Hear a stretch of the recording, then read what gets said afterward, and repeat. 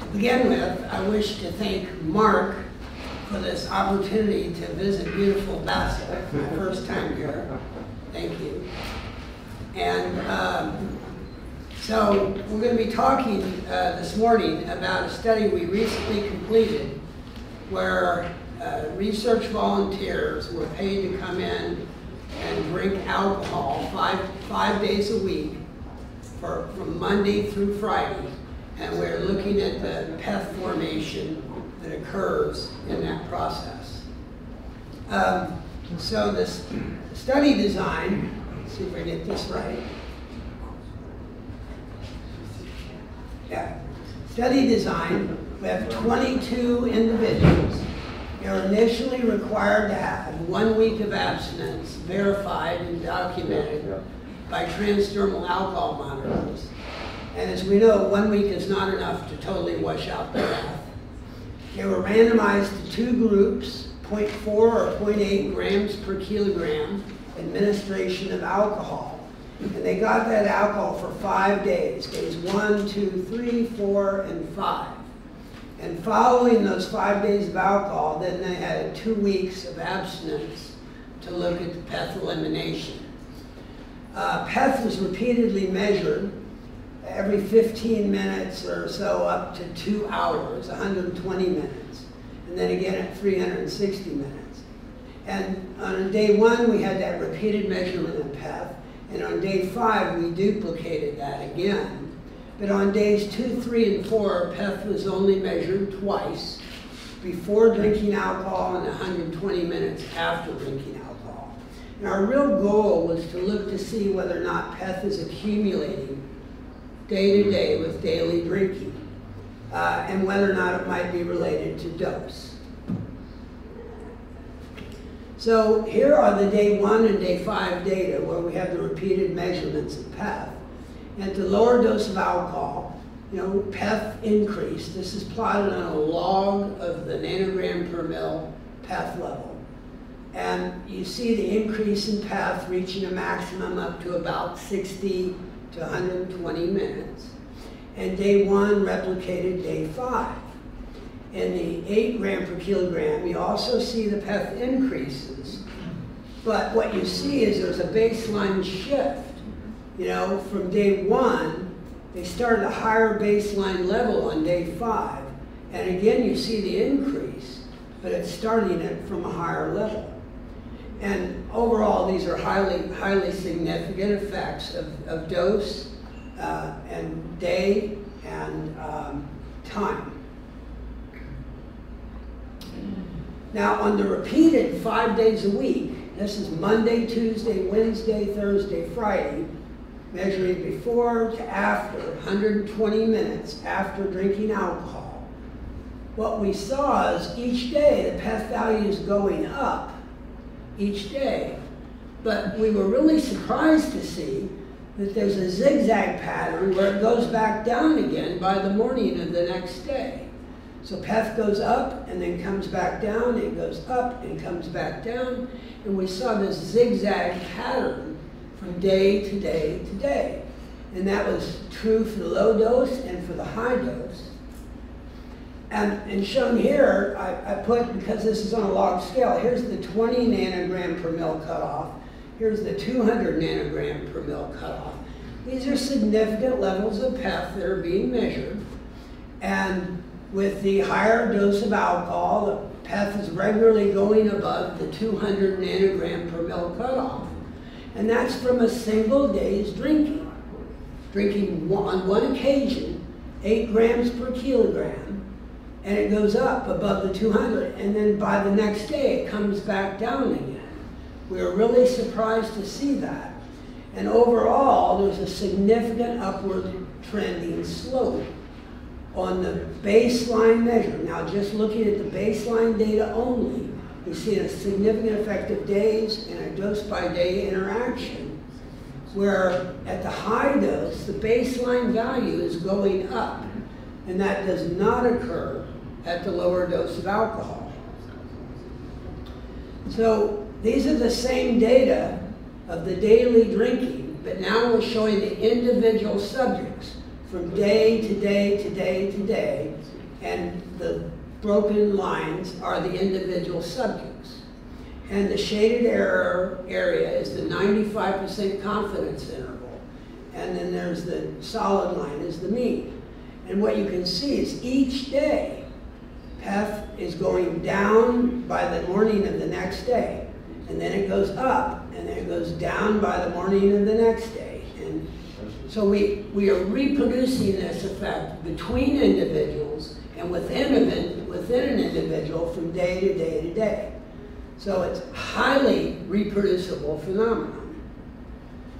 Now, um, as was referenced earlier today by Professor Weinmann, uh, Gnann originally published Five Days of Drinking. And they were reporting there's an accumulation of PEth across five days of drinking. But their study design was different than what we're doing. First of all, they have only seven subjects.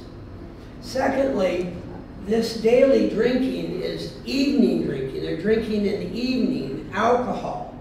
And so when they measure PEth the next morning, it hasn't had as much time to drop down and go down.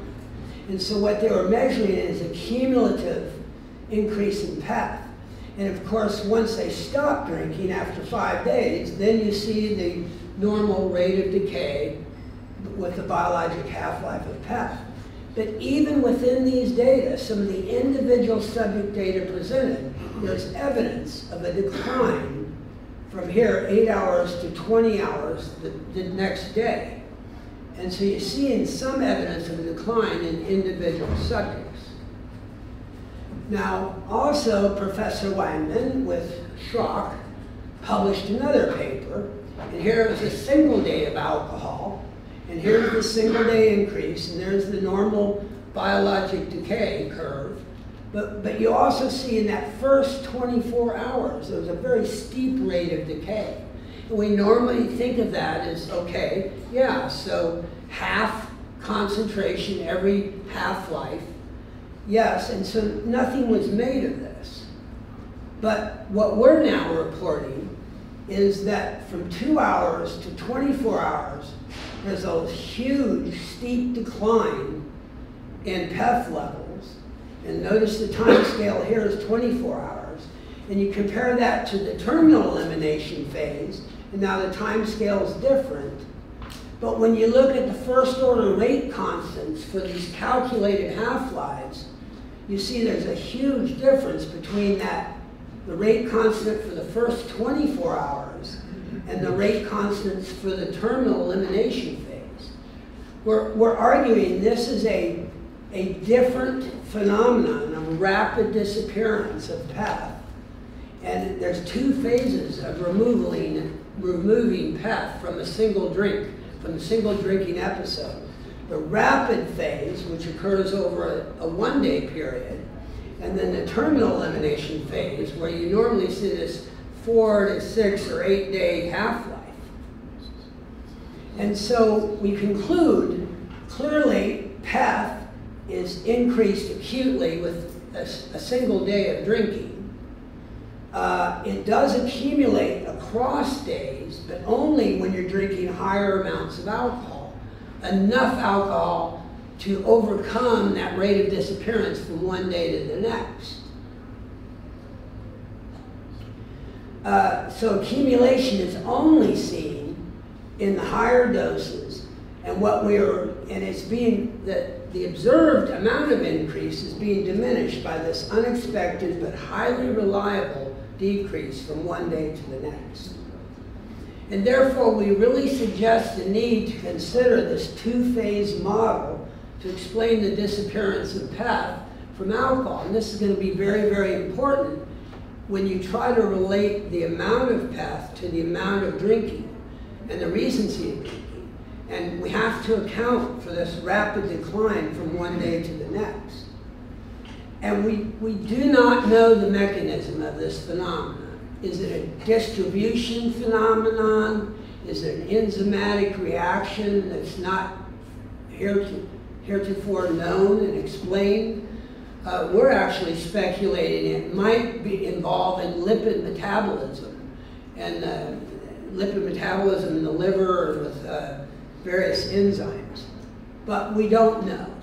And so I thank you very much for your attention, and I appreciate the opportunity to present these interesting data. And I'm very interested in hearing your comments.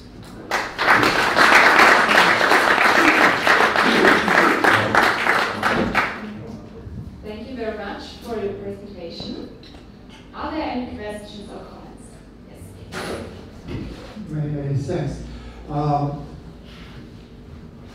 I have an idea that uh, it should be very, very interesting to, to patients regarding the biological background. Uh, some people are really, uh, fresh regarding alcohol, and some people who are not really fresh with biological lesion, uh, hepatitis. Uh, my, my, my question is, uh, it will be very different to, to, to observe the same thing between uh, healthy people and uh, sick people, particularly linked with alcohol. Yeah, so these were not alcoholics. These were not, they, they were normal, healthy volunteers that reported drinking at least one time per month, five or more drinks. So they drank five or more drinks in a day, at least one day a month. Uh, but they were not clinically diagnostic severe normal social drinkers who occasionally drink heavily. There's another question over there.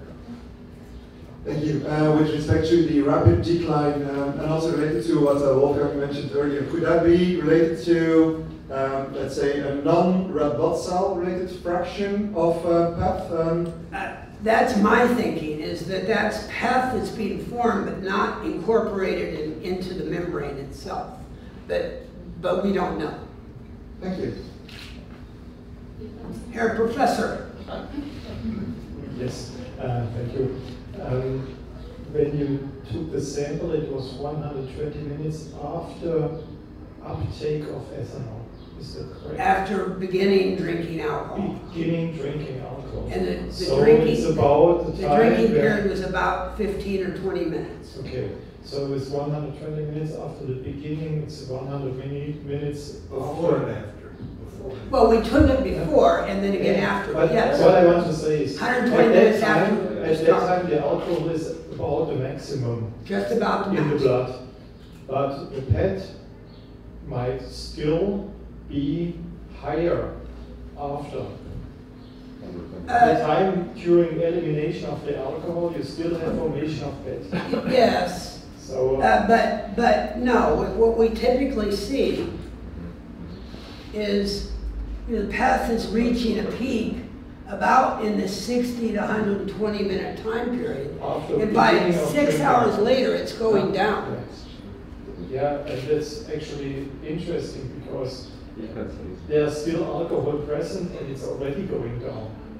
Yeah, we, So there's a, there's, there are two processes, it's still being built, and on the other way, it's also Right. eliminated in this time between hundred and twenty right, to three hundred sixty, they are still building Right. of that.